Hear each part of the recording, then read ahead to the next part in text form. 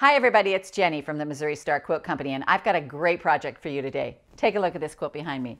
Isn't this fun? I love the idea of the migrating geese. I've been watching that and I think I've come up with a really easy way to do it. So to make this quilt, what you're gonna need is one roll of two and a half inch strips and we've used Nova by BasicGrey for Moda.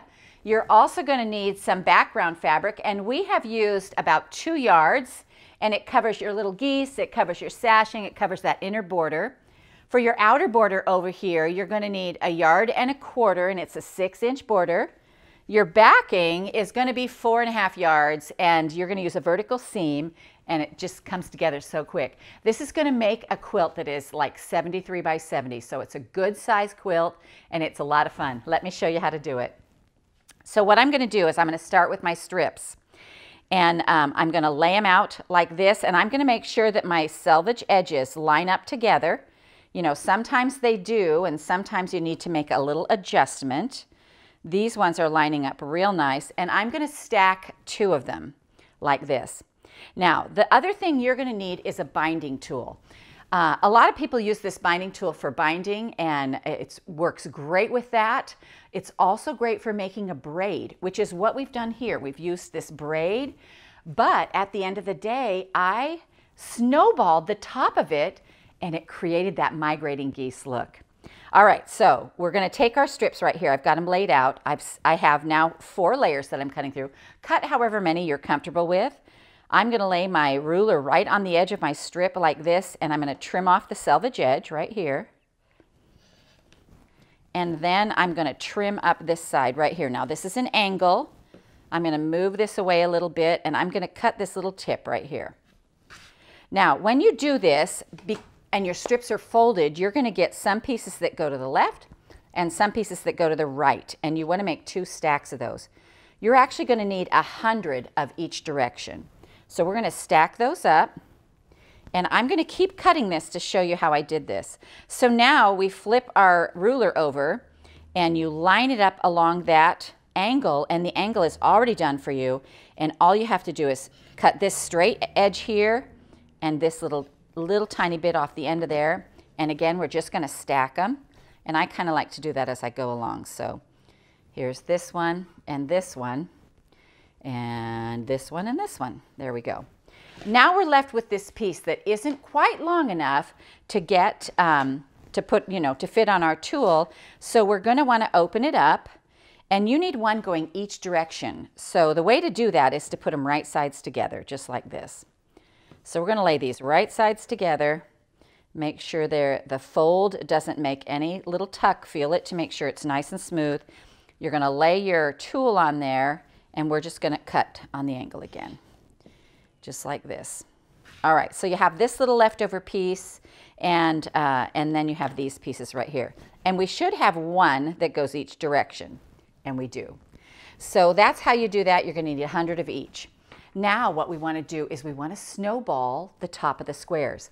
Now, I told you two yards of yardage to make this, but I love these little Kona squares. They're two and a half inch squares, and they they are so handy, no cutting. You can also, if you have extra strips laying around, you can get your two and a half inch squares out of a strip. So, you know, just if you have some scraps, I know you guys have some scraps, so we just want to do this. All right, so now what I'm going to do is I am going to draw or iron a sew line. So what I'm going to do is I'm just going to finger press this. It's going to give me a sew line. All of my, um, all of my angles that are going to the out, the angle at the top is the opposite. So I'm going to sew in like this, okay? So we're going to go to the sewing machine. We're going to sew right on that line and just like this. And you're going to want to do this to all your pieces. All right. Sometimes uh, you have a hard time seeing that line, but uh, you can see right here I've got my line and then I'm going to use my, my little ruler and I'm just going to come in a quarter of an inch and I'm just going to trim that off. Oh, hang on, I got a thread right there. All right, so I'm just going to trim this off. Now we're going to press that open. And again, You're going to do this to all of your pieces. So keep them in their same piles like this. So I have a pile of these that are done, and then I have a pile going the other direction. And see, your blocks should come in to each other. So just make sure whatever angle this one is, you're coming in toward it. And let me stack up a few here. All right, I have them all. There we go. All right, so now let me show you how to create the braid. So what I did to create the braid and the geese is I took a two and a half inch square and I cut it directly in half like this. And then I took one of these right here and I'm going to start it on each side. So we're going to start with the side where the fabric is next to the geese, just like this. We're going to lay this on here like this, and we're going to sew a quarter of an inch down on this side. So let's come over to the sewing machine and do that. Put our needle up and we're going to line our quarter of an inch. And then we're going to and, and so now we have a piece that looks like this. It looks a little weird. We're going to go ahead and press that down.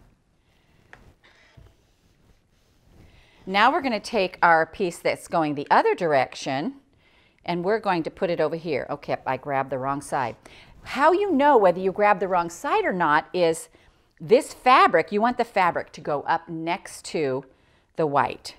So then we're going to add this piece on over here.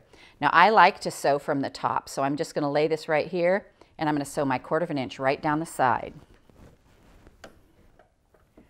And you can see this is starting to form up.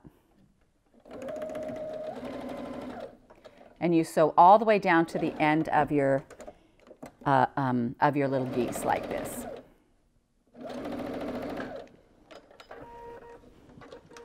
All right, now let's press this open. Well, let me show you first. So you can see, here's my quarter of an inch all the way down, and then we're gonna press this open.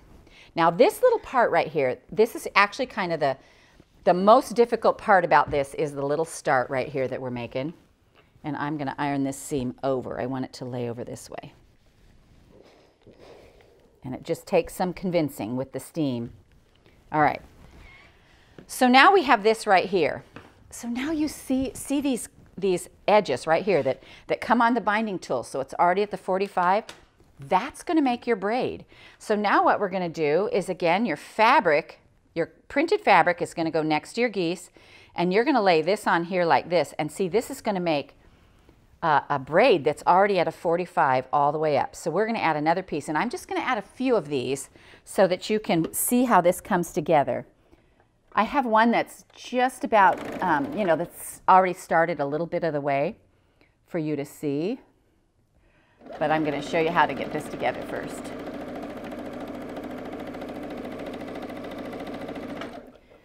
Also, when I do a quilt like this that requires ironing at every seam, I make myself a little nest.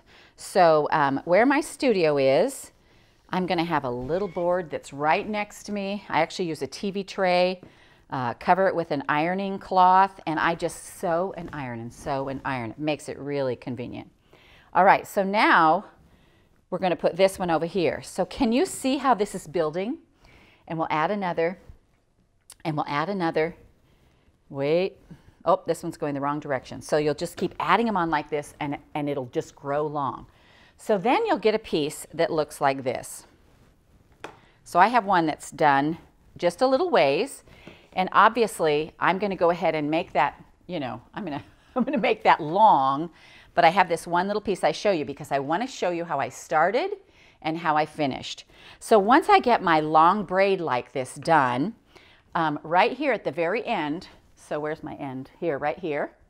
See, see right here, uh, I used my little geese as the starting point. And so what I did was I took my little geese right here and I just put my ruler, I laid it on the edge of that geese right there. And then I just trimmed these off right here. Just like that. And that makes your straight edge for your starting point. Now your finishing point you had to do, you have to do some squares up here to make it square and blend in. And I actually was really excited because I kind of thought these would work, um, but they didn't really work and they didn't give me the geese. And so I had to go back with my background fabric. So I cut one square uh, for one side. You're going to have two squares or two different sizes because this side is going to be longer than this side. So this size right here, I think I cut it about uh, six and a half. It could be six and a quarter and save you a little room. And I just put it on here like this and sewed. I always like a little bit of extra room when I'm doing mine uh, so I can trim it off and make sure that, um, you know, make sure I have enough. I'm pretty sure you can get away with six and a quarter. I think that's what the pattern says.